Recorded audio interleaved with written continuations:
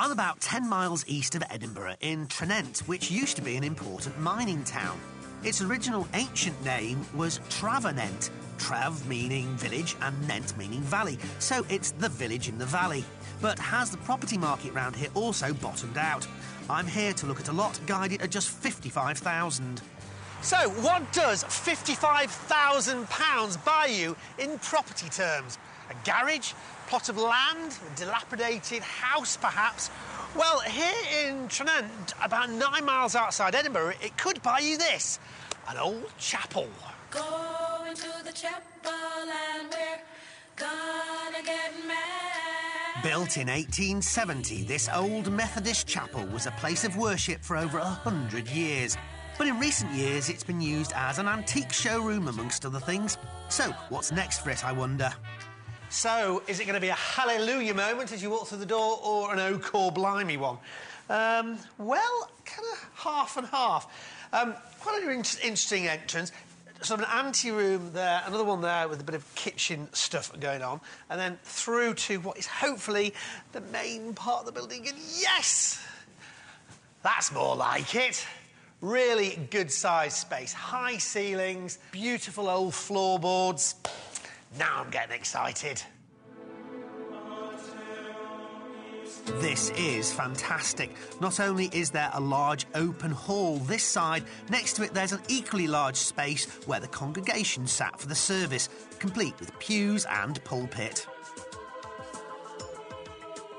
The single story stone building was subdivided in 1958 to create the church hall.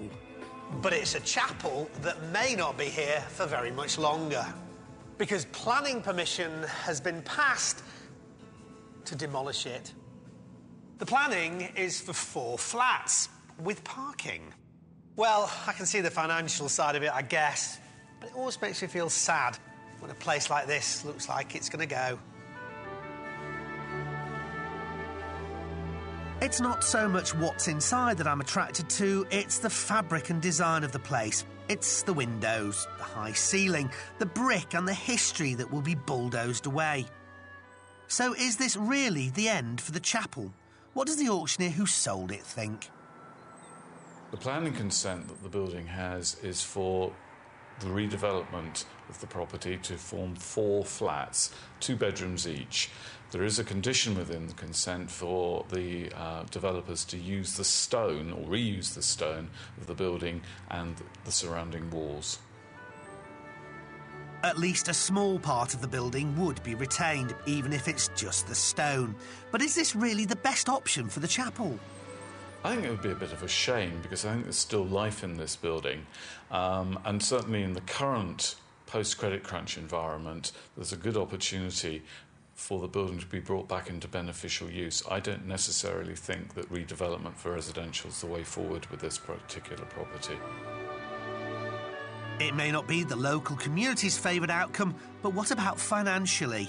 We've had a look at rental levels and having sold quite a few flats in Tranent over the last few months, we're aware that a one bed flat is probably commanding a rental of about £340 a month, and two bed, perhaps £400 per calendar month. Um, if we were looking to sell flats at that level, it's going to be somewhere between about 100 and 120, depending on what they comprised. Four flats would bring in a return of £400,000 from a building that was guided at just £55,000. Even with development costs, there's likely to be a healthy profit margin going down that route. There is the emotional side of knocking down a beautiful old building like this. Still, it will be up to whoever bought it when it went under the hammer. Right, lot 29, Bridge Street, Tranent. The Tranent Primitive Methodist Chapel, built in 1870. Very handsome building. What are we going to say for that? Somebody start me off at £60,000? 60.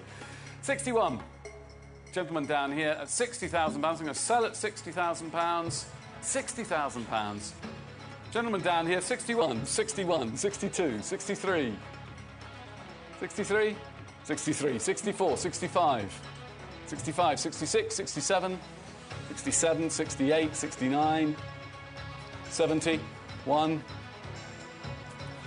I think you might have done him now. At £70,000, going once, twice, third and final time. We all done £70,000. Gentlemen, started me, finished me. You deserve it, sir. Thank you very much.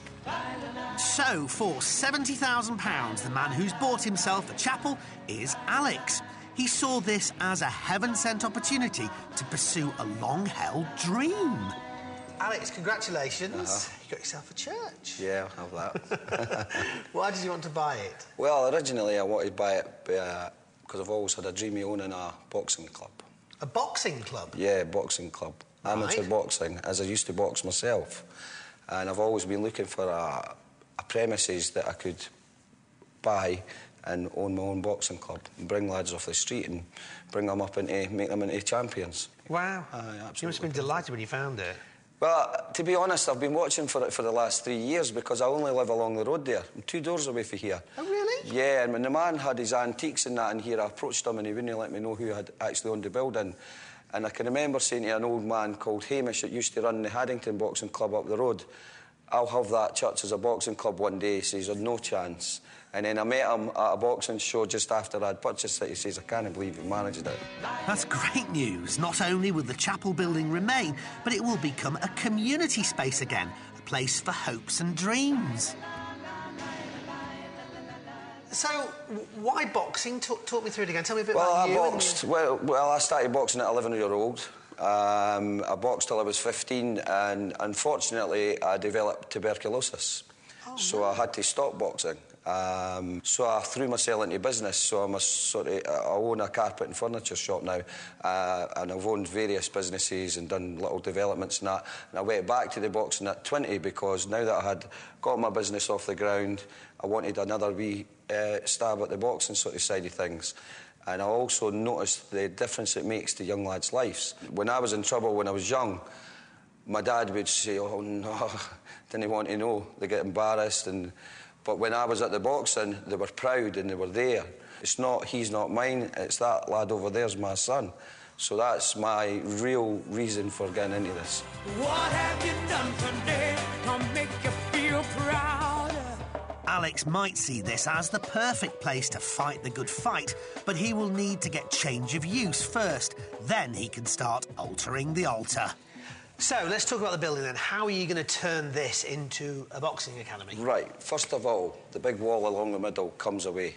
We'll put the male dressing room through at the back there, and we'll put the female dressing room through here where the toilets already are and the kitchen is. So it's going to be it's going to be boys and girls. Oh, it's mixed. Oh, it's okay. definitely mixed. Oh, there's no problem about mixing it at all. Most boxing clubs nowadays are mixed. Um, the boxing ring will go over here on the left-hand side. Um, there'll be mirrors all the way around because all boxers like to see themselves. and have, when they're shadow boxing and that, the big thing is mirrors. And when you're teaching a, a kid to box, the best way to teach him is to let him see what he's actually doing. Uh, we'll have all the sort of punching bags and things over there, and then we'll have like a CV area in the other corner.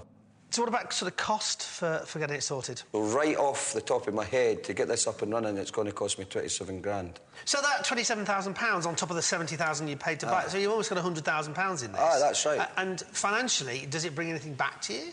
No, right away, it's not going to. It's, it's only really always been a, a love of my life and, and a hobby that I've always wanted to do when I retire from work. It's not an investment that I've made thinking I've just threw that money down the Siver, because I've not. Because if it was to fail, I've still got the building. I've developed pro- properties before. I can still develop it into four two-bedroom flats. I'm in the furniture and carpet business. I can make it into a furniture and carpet unit.